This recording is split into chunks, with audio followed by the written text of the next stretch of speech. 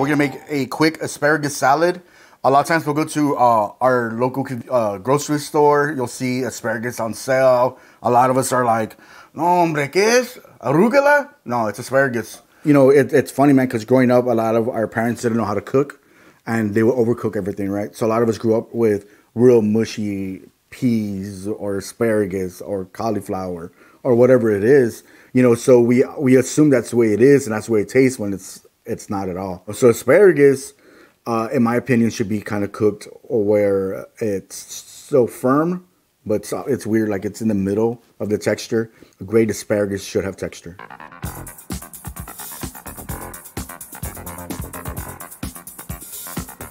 This is something that, you know, a lot of us are trying to get a little healthier, uh, implement something, you know, while we're eating that's not so fatty or it's not tacos, right?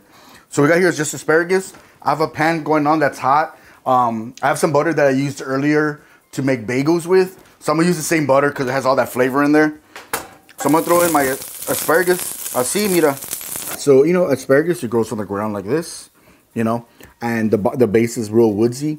So what happens is that, you know, most places they'll cut off the bottom part and you'll sell it, you know. And if you don't know better, you cook the whole thing and then you're like, man, why is it so like tough in the bottom? It's because, you know, you left all that part on. You know, usually you can shave it off or you just cut, cut you just trim them off and you'll be good. And when the butter's crackling, popping, you know you're doing the right thing. You know, when a pan's hot and ready to go, when you add, when you introduce anything to it, you know, the sound it makes is you're kind of like, okay, the pan's hot, hot enough. You know, but if you don't hear anything, that pan wasn't hot enough. So all we're doing is cooking our asparagus. I see. We're gonna add a little bit of pepper. You know, you have to season everything while you're cooking it you know, the asparagus as well. So, you know, we based it with the butter, we add salt and pepper, you know, we're trying to incorporate as much flavor as we can into that asparagus. And then we're gonna add a little bit of our handy dandy Tajín to add a little bit of the flavor to our, our asparagus. Okay. And asparagus cooks fast, man. We're talking like the asparagus probably take us maybe like four minutes to cook. You know, we want it to be firm yet soft. You know, um, yeah. So that's what we're going for. That butter's gonna add a little bit of nuttiness to the asparagus. So all we're doing is we're doing this guy right here, and you just do the good old poke test. The cool thing about this about this what I'm doing right here is that let's say like you're having Thanksgiving, you know, Christmas, and you're like, man, I love asparagus, and I want, and this salad is it's good. It's really good when it's cold. I'm doing mine warm, but cold's even better. So what you can do is cook up the way I'm doing it. A lot of asparagus, put it all in your fridge, cool down, and then you can just pile all the asparagus together on top of a plate and do what I'm about to do, and it's gonna be the best thing you've had.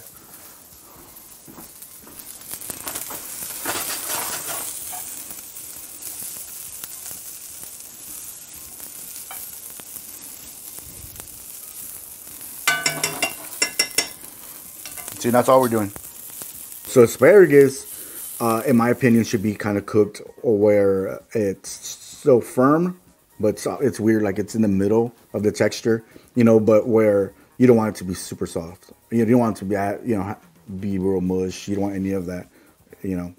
A great asparagus should have texture. So my asparagus is done now.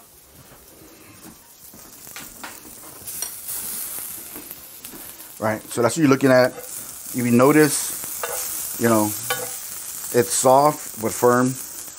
That's what she said. And so all we're going to do is we're going to get the asparagus and we're going to pile it like this.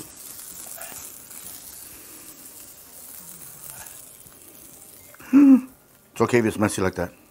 That's why they invented napkins. A la molo. Okay. And then me being me, I gotta clean. Oh, I gotta clean this plate.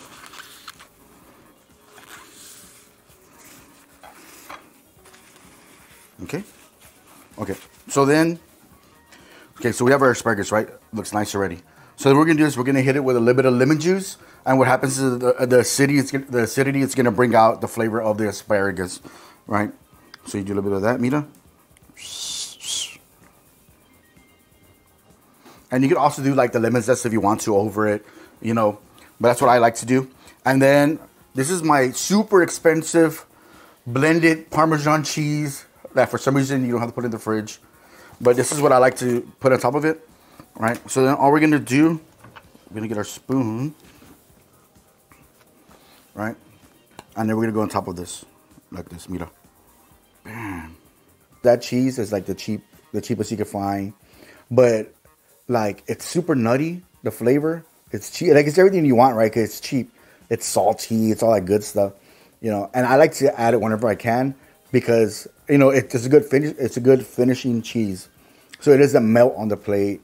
You don't have a mess. You have it. It tastes fresh. But like I said, it's gonna add all incorporate all those other flavors. And whenever you add it to something that has kind of the same tones, it just intensifies that flavor. True story. When I was a kid, I used to eat spoonfuls of this. Now look at me, champion. Okay, you can be like, oh my god, that's so much expensive cheese. True, but you know what? It's worth it. Then we're gonna, you can put nuts on this. I like using these seeds. Certain things need, you know, either nuts or seeds. And this was one of them where it, it felt like, you know, it added texture to it, uh, a little complexity, you know, and the flavor is good as well. We're gonna finish off with more pepper on top like this.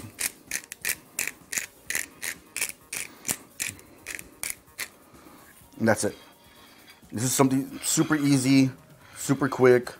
Um, and I think that, and like I said, like this is really good when it's cold, and you can make a lot of it at once, and you can add more stuff to this. This is what I like though. I like the nuttiness of it.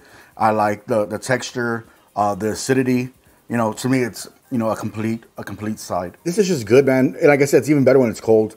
So this is good, like if you're invited to, I don't know, to a party, you know, yeah, there's a quinceañera, you don't want to buy a present. Take them asparagus salad, man. Everyone loves that stuff.